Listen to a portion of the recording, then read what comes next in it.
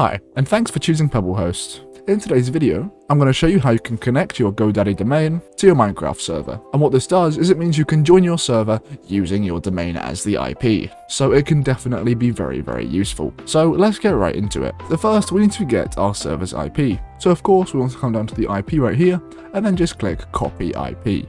And then we want to go to GoDaddy. If you go to godaddy.com, you can then go to your name, and then go to My Products. From here, you then want to click on your domain, and then we can go to the DNS tab, and then click on Manage Zones.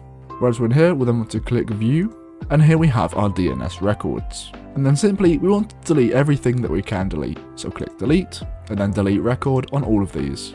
Alright, so we've now deleted all the ones that we actually can delete. So now we're going to click Add, and then for a type, we're then going to select A, and then for the name, there's a few things that you can put. You can put play, which means your server's IP will be play dot and then your domain. You could put MC, so it'll be MC dot your domain, or you could do an at, which will simply just be connecting through your exact domain. And for this, I'm going to put play. Alright, so next we have the value. And for this, we're going to simply put in our IP. However, we're not quite done yet. Once you've put in your IP, you then want to get rid of the port at the end. If you do have a dedicated IP, you can simply just put the whole IP. And then for the TTL, we will leave that at default. We'll then click add record, it's updating the DNS record, and there we go, it has now been added. Now there's one more record that we're going to need to make. We're going to have to make an SRV record. So click add, and then for the type, we're going to select SRV. Then it will change a few options here. So for the service, we're going to want to put in underscore Minecraft. Once you put an underscore Minecraft, for the protocol, we're going to want to put in underscore TCP. And then for the name, we're going to choose the same name as we chose last time. And as I said, it will be play, MC, or at. And mine was play, so we'll select that once again. And then for the value, we're going to put our full domain. And this also includes having play at the start. So my full domain will be play.strangestan.co.uk. So basically put play in front of your domain. For priority, we're going to put this to 5, the weight we're going to put to 0, and then for the port, if we look on our IP right here, we have all the numbers and then past the colon 25585, this will be your port. So then we'll paste it in, and with the TTL, we'll also leave that at default. We can then click add record, it's adding the DNS record, and then there we go.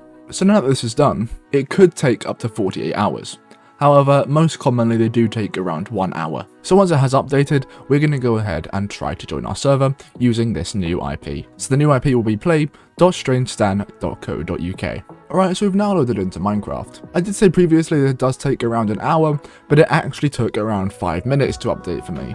So anyway, we'll go to multiplayer, add server, and then we'll type in our new IP, which was play.strangestan.co.uk. So now we have our server address, and we'll click done, and as you can see, our Minecraft server has been found.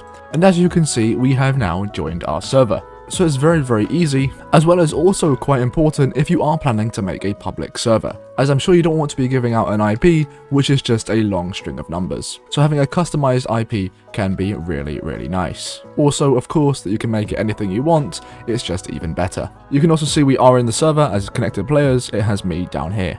But anyway, thank you so much for watching today's video. Hopefully it has been helpful, and if it has, definitely leave a like and subscribe, and hopefully I'll see you next time.